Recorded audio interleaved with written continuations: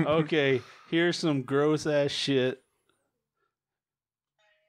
Oh, I should turn this down. Yeah, probably.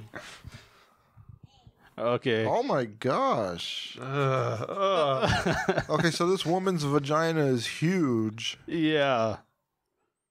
So what we're seeing here is this dude sticks his entire head In into a vagina.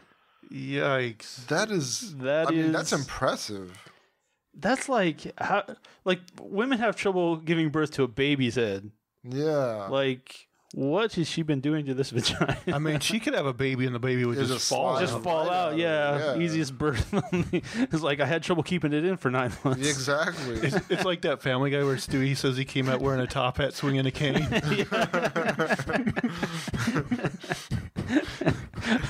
I, want, I really wanted the two girls uh, one cup, but we didn't Oh, get it. I'm I'm sure another day. Another day, Yeah. another that dollar. one, that one was disturbing enough. yeah, that was pretty crazy. Yeah, that was uh I'd actually seen that one a long time ago when I was in the army. Like s- uh, someone showed it to me. I was like, it's still like in the vault. Like, you know, it's it's gross enough. It just like stayed in with me. She must walk around normally with her vagina open. She's like one of these people who like smuggles turkeys out of Safeway.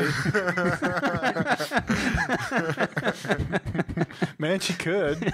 Yeah. Uh, I guess. I mean, I gotta believe she was born with that because there's no way. You Well, I mean, so they're made to stretch, but that is ridiculous. Yeah, I mean, you don't. I don't think she's been stretched out like that, and that's what happened. I think she was just born with a huge vagina. Maybe. You want to push turkin?